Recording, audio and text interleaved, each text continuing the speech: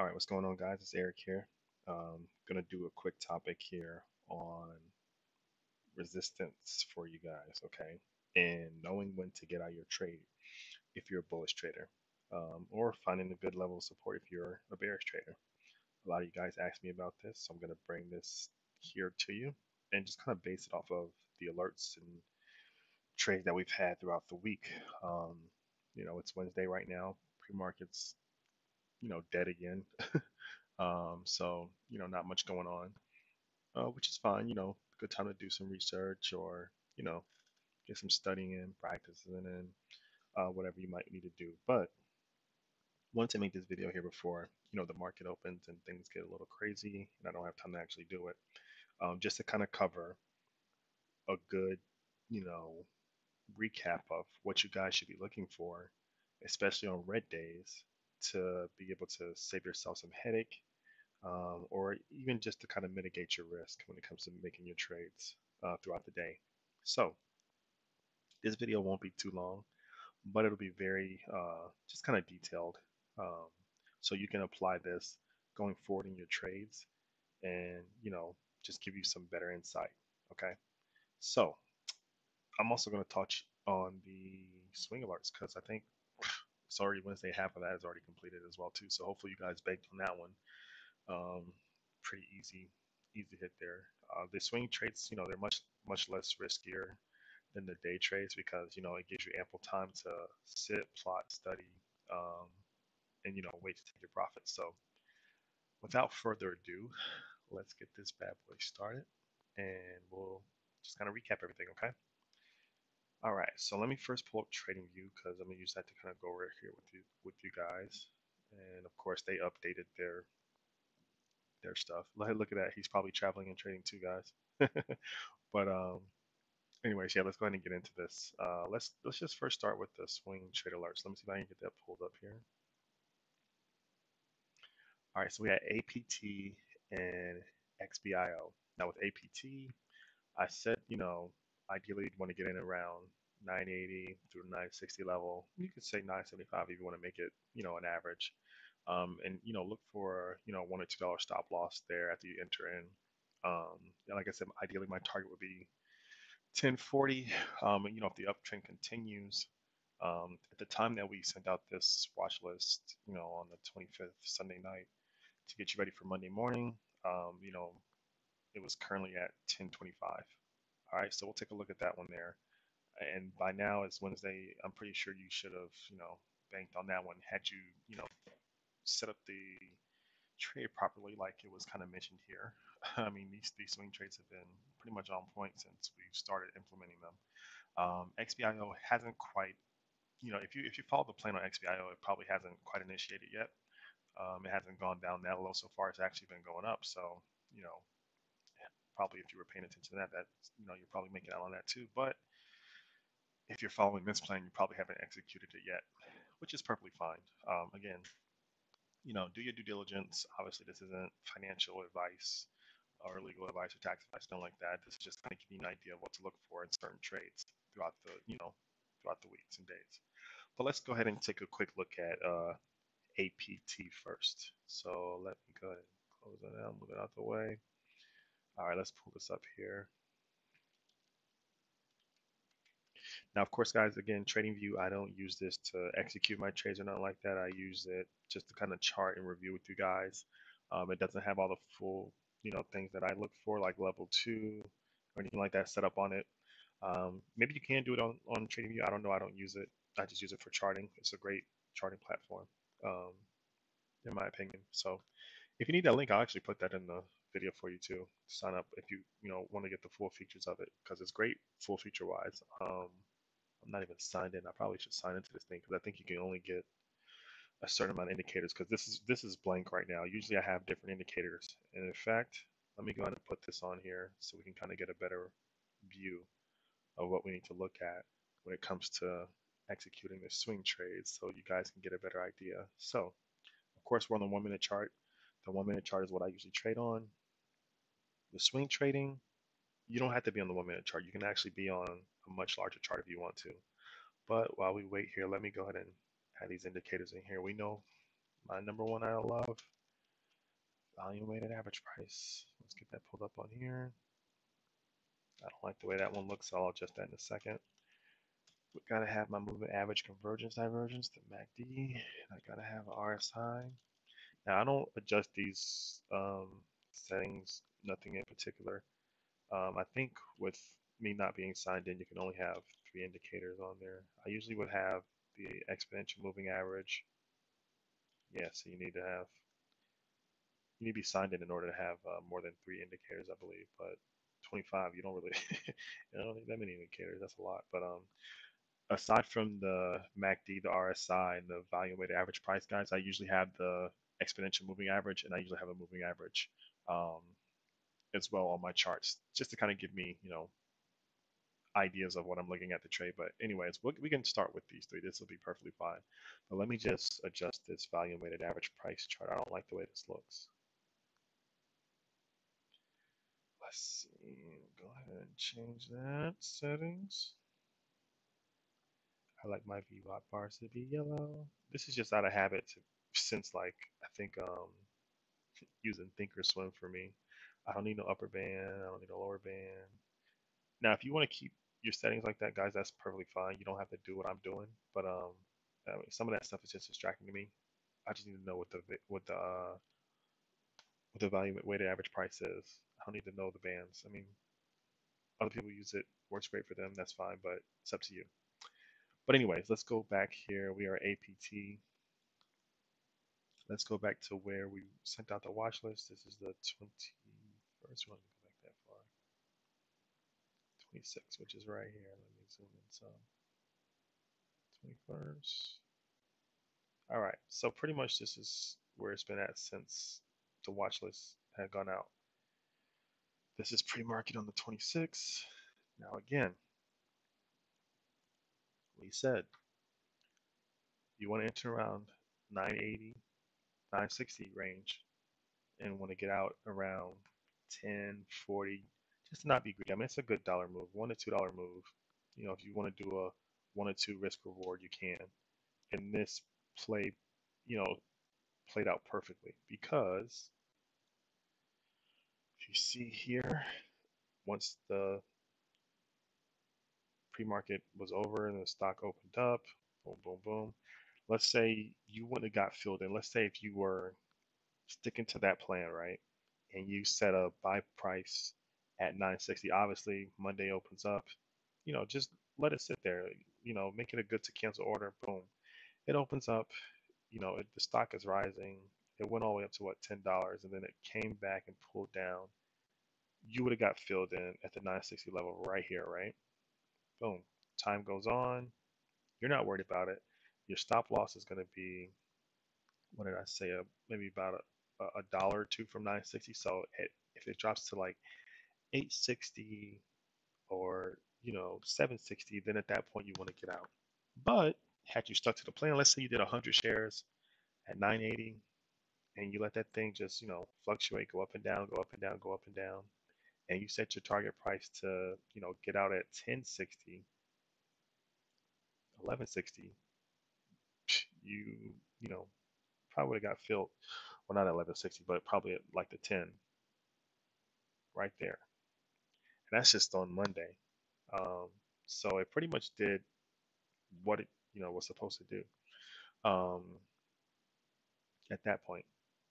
But again, that's had you pre- that's had you have you know placed your buy order at 980 and then not get too greedy and you know get yourself a quick hundred dollar profit by letting it get out at you know 1080 you'd have got a quick hundred bucks in just one day from doing nothing doing nothing but setting your risk, setting your reward, and moving on with your life. That easy. Now, why did I, you know, come up with those numbers? If you looked at, you know, any of the courses that I talk about finding levels of support and resistance, and I show you how to find that, you should be able to determine that. But this comes out, you know, every week for you guys. But that's ideally what you should be doing with the watch list. You don't even have to actually set the actual buy order. If you want, you can just set an alert for yourself through your broker to alert you when the price is hitting that target. And then at that point, if you want to actually get in, you can. Um, but it's up to you. But as we know, as we see here, you know, already is Wednesday, and one of the you know alerts on the stock on the on the watch list has already, you know, executed perfectly. So there you go. Um, XBIO, we can touch on that here real quick before I go over the other stocks that I wanted to talk about. uh, XBIO, it was at 242. I mean, this thing is just still continuing this little uptrend there. Still, ideally, I'm waiting for it to have more pullback. Um, like I said, I wanted to get in little bit under two dollars, but it's not quite reaching there yet. It's holding a good level of support here. This 242 right now. Um, but hey, that's where we're at. So it still has a good range for you to make some profit there, but we'll still wait on that one. But let's get to the other, you know, things that we want to talk about. So in this video, guys, support and resistance is going to be key. Um, now, obviously, the last two days have been red days. I'm expecting today today be a red day as well too, like I posted in the Facebook group. The thing here on red days, if you're a bullish trader, which a lot of you, especially you new people, really are, um, you need to be more careful with your trades for a bunch of different reasons. Let me move. I don't like how big this is real quick. Sorry about that. I should have I should have just signed in my chart settings way better. I think ever since they did this update, they've changed a lot of their chart settings. Um, but anyways, so like I was saying, uh, with the red days, support and resistance is very, very key if you're a bullish trader. Just like it would be key if you were a bearish trader on uh, a green day. Um, the reason why is because you need to know your limits as a trader and not have yourself be consumed by the greed and end up losing a lot of money, which happens quite a bit. Especially, you know, if you're a bullish trader and you're coming off a high of like a good three day green streak and, you know, you're expecting, you know, to make some more money the same way you did the last few days on a red day, it's probably not going to happen. In the course that I go over with you guys, I talk a lot about the trend and I go in detail about the trend you're a bullish trader and it's a red day, you shouldn't be fighting the trend. Um, you should be more limited and conservative with taking your profits, which means you should be doing it a lot more quicker and set your gains and your stop losses a lot more tighter because obviously the bears are winning and a downtrend is more likely than an uptrend. Now there are some anomalies where some stocks will, you know, go against the grain, but don't think that's going to be the case for the most part. Okay. Um, happens every now and then. It's not impossible, but it's not common. Remember, when it comes to stock trading, guys, you want to have the odds be in your favor. Um, there's no one set rule. You know, for every one thing there is, there's an opposite to it when it comes to the stock market. So understand that. Now, there's good ways to be able to find out, hey, you know, if I'm a bullish trader trading in a red market, how would I understand where my limit is on a stock trade or what should I be looking for to not have myself, you know, lose a lot of money? It's pretty simple. And the main thing is going to be the resistance level. Okay. So let's talk about how we can find. Let's use let's use one of the alerts for an example. Uh, let's do EYEG. I believe that one was alerted.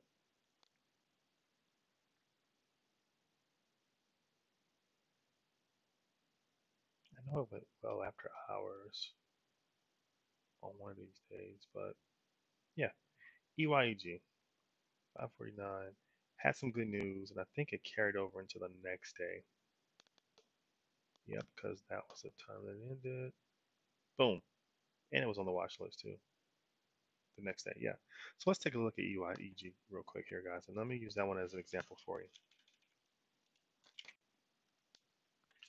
This video might actually go a little bit longer than I thought because I'm going to be going into detail with this. All right. Uh, is 26. Okay, so this is where it all began with EYEG. All right, so it had its little run Friday. This is Friday. This thing went crazy. Now, obviously, pre-market opened up, and it was at it was at a high. So obviously, it was probably one of the top gainers. Probably had most people eyeing it and looking at it. Usually by this time, guys, pre-market will, you know, you can determine first and foremost, which is what I tell everybody in the course too, in step one, when it comes to trading, you should know what the market sentiment is for the day. Is it red? Is it green? Is it flat? Because that's going to help you determine what you should be expecting out of your trades. We opened up, market was red, pre-market was red, not much volume coming through. That alone is a sign as well too that this is probably going to be a good bearish day. Low volume means that means not a lot of people are looking at it. Um, and that is one major indicator. If you start to see that volume is dying on the trade that you're looking at, which means that there's not a lot of price action. Obviously, here during the bell opening up is going to be a lot of price action because all the traders are rushing to the stock. Then it's going to slowly, slowly die out throughout the day unless like some news comes out or some kind of catalyst opens up and you know brings more attention to the stock. Nine times out of ten, though, the stock is going to be you know making its moves in pre-market, then come open up. Usually the first 30 minutes to an hour, two hours at the most, you'll have most of the price action there, and then it'll start to die down. And typically, wherever whatever side is winning, whether it be bearish or bullish, it's going to pretty much continue that trend throughout the day.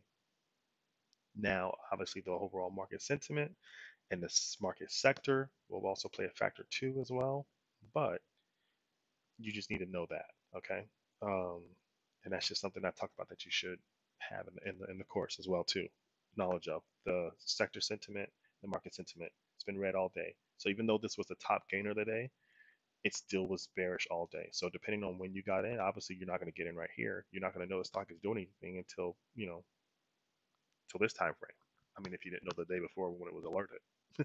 but most other traders who aren't, you know, in the alerts and things like that that are just looking at this or trading pre-market are going to be eyeing the stock and they're just going to be looking to see, you know, entries and exits, and they're going to go along with the trend as well too. Okay.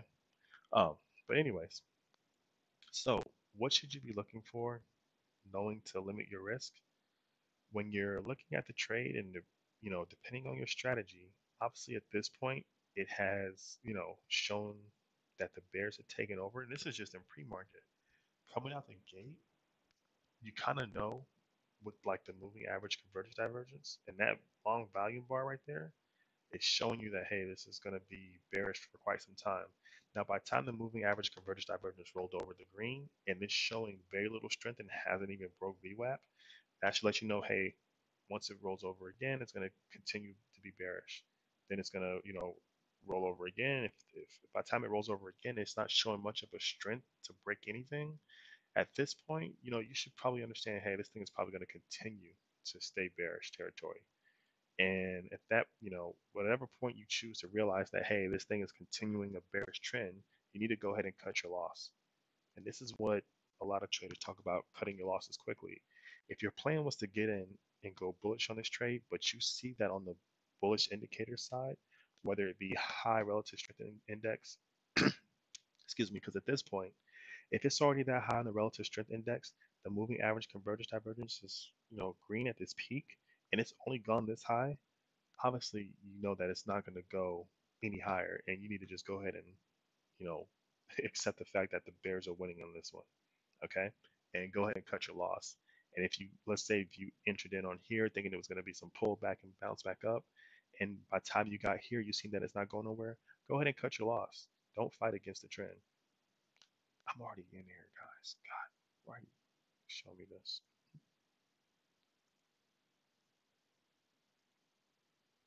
They want me to sign it. Let me sign it real quick.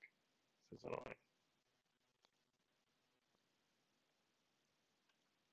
And they gave me a whole other thing. Oh my god. Anyways, let me just refresh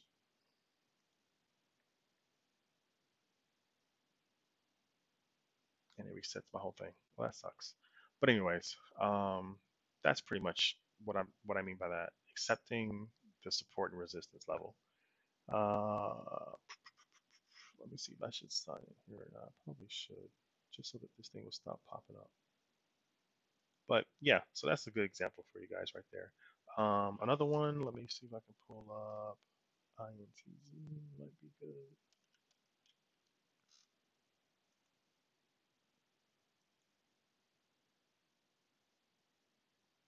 Yeah, this one was a good one.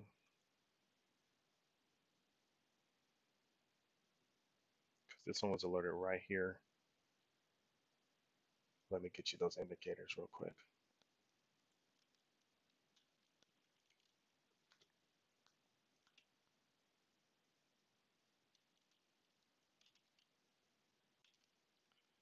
I should just sign in and stop being lazy.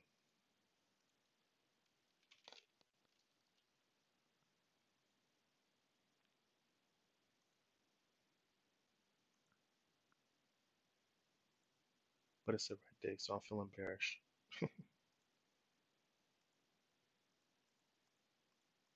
All right, so let's take a look at this one. Tier 2, INTZ. now, let's say it's alerted. Hey, this you know, blah, blah, blah. This thing is going up. You wait. Usually, like I tell you guys sometimes, you know, wait for it to pull back and it pulls back after the moving average convergence divergence has, you know, gone red. Then you want to start to look to enter in as it's starting to roll green and cross the VWAP. Usually, I'm pretty sure when I have my exponential moving average and moving averages up here, it probably cross at this point right here, which is a good sign to get in. So you get in, you get your move, take your money, and leave. Had you not, and it starts to roll back over, and you see that once it's rolled over on the moving average convergence divergence and it's broken the VWAP, that's kind of a sign there, your first warning sign that this thing might become bearish. Now, by then, it's established some support, some support, some support, and the moving average convergence divergence has rolled over, and it's only went this high. Now you know it's got to roll over again, so it's going to come back down. Now it's coming back down and it broke the VWAP again. That's your second sign that it's not going to show any more strength. Now it's still holding that support, right? Still holding that support. This is a good level of support too. So pretty much from this area to this area, you know that's level of support. Okay, but as it keeps rolling over and rolling over, it's not showing any strength. You know that this thing is dying down because the more you go down, the more that the volume is going to light up throughout the day. Um, and if it's not, you know, showing any strength, you might as well just go ahead and, you know, cut your loss at that point. Um, you know, again, you should know that the bears are winning the day. It's been red all day. You're a bullish trader. Should have been conservative with your trade and took your 50 cent to a dollar move or so, and then got your money and got out before the before it even rolled over. But even at that point, once it did, if you wanted to try to hold on and hope, this is how you know that you need to exit the trade if you're the opposite. Now, if you're a bearish trader, these might be good entry points for you. If you see that, oh, the moving average convergence divergence only went up this high, all right, perfect. So I know that this thing is going to continue to go down. So again, it all depends on how you trade. But these are some key signs here, guys. You know, you're putting together, your, your job is to put together all these indicators that help you determine, you know, the way that you trade. It's just giving you more confirmation. It's not all in all because there's been plenty of times where things will just, you know, go the opposite way and the indicators are, these are lagging indicators. These are not leading indicators because you also need to be looking at level two, looking at market orders coming in and things like that um, while you're trading. So I, I, go over all that stuff. I'm not going to go through that on this, you know, little section here. This is just a kind of a recap for you, a brief overview, charting wise, for you to understand this is what you should be looking at when it comes to doing the trades. Okay. Uh, I'll do one more here real quick. Let's take a look at uh, uh, MOXC. I think that one was a crazy one that just felt, yeah, it was, there it is. So, MOXC, if you guys don't know, but let me see if I can pull it up here for you. This thing I think was alerted. This is just off of yesterday. This was alerted pre-market that it had went up. Let's see if I can find the alert of the day. Because I remember it saying, was it like a high of 20 something? Yeah, right there. High day was 18. And that was pretty much in that area. Yesterday, 26. So when it was alerted, this thing had rode all the way up here, and I know some of you guys were talking about how you got caught in that. Um, look at Look at how this thing just fell off the cliff with the relative strength index. It was halted down, and the moving average convergence divergence just rolled over that quickly all at once. There's no way you could anticipate that, which is again why it's important on especially bearish days if you're, you know, trading and you're a bull trader, for you to take your profits as quickly as you can. You know, so let's say you got in, you know, it show what you know a little cup and handle there. That's fine. You see that pattern. You get in. Let's say you get in like right here, like oh, okay, I'm gonna jump in and ride it out. I mean, this thing broke another dollar level, broke another 1850 level. You guys got to remember your key levels of support and key levels of resistance that are not just based on charting, but also based on price. And I go over that in the course too. So once you know that and you take your profits at that point, you know, you should be fine. But had you try to be greedy and stick this out, thinking this is going to be a good runner on a bearish day, you would have got taken out all the way back down to 14 men. That would have been a major hit. Hopefully, you know, you took your profits. But if not, you're not going to know until something like th these candles indicate that this thing is going to stay bearish because it didn't even give you no kind of warning sign at all. It just dropped. And that can happen more often than you might know, especially on days like that. Now, if you want to hold on and hope, try to get some of that back, you would have barely made out. But at that point, you should know too, it's not going to go anywhere. Um, but yeah, those are just signs, guys. I mean, knowing the, the way the day is, knowing the sectors that you're in, how the overall market is doing that day will help you determine whether or not you should be trying to be greedy on one side and conservative on the other. If it's a bearish day and you're a bull trader, you need to be conservative. If it's a bullish day and you're a bear trader, you need to be conservative. Okay. Um, you should be watching things like price action. You should be looking for key levels of support and resistance. Look at what the stock is telling you, what the indicators are telling you. Put those things together. Are, are there more bearish indicators than bullish indicators of this trade? If so, and you're trading as a bullish trader, you might as well get out. If it's the opposite, same thing, get out. Okay. So, guys, I hope this kind of helps you get some insight on helping you determine whether or not you should be in and out of a stock, um, you know, throughout your trading day. Okay. Um, this is, you know, this these same indicators are available if you're like trading mobile Webull platform. Same thing on Thinkorswim. Um, I believe Moomoo as well, or any other brokers that you might be using. Um, obviously, I'll put those brokers in the comment section below too. Uh, if you don't have any of those, so you can kind of get an idea. Or even if you're not using them, you know, it's good to have the brokers and then use their charting to trade on whatever platform you trade. If you're doing it mobile, now if you're on your computer or anything like that, it's perfectly fine. Use whatever you know you want to use. A lot of times in, conjun- in conjunction, I might use you know this platform and then you know be trading on my Webull platform. Um, kind of looks pretty much the same thing, except on here I got like you know the super trend indicators and things like that. But you can always go through the other videos and know how to do all that. So, you know, got my level two price action here. I'm looking at this while looking at this at the same time, and I got my information here that I need to know. And I'm not gonna go through all this. I cover all that in the course. But anyways, too much stuff to go through. But anyways, guys, hopefully this video helps you out. Um, you know, again, bearish day. Let's you know trade green and stay green. All right. Talk to you guys later.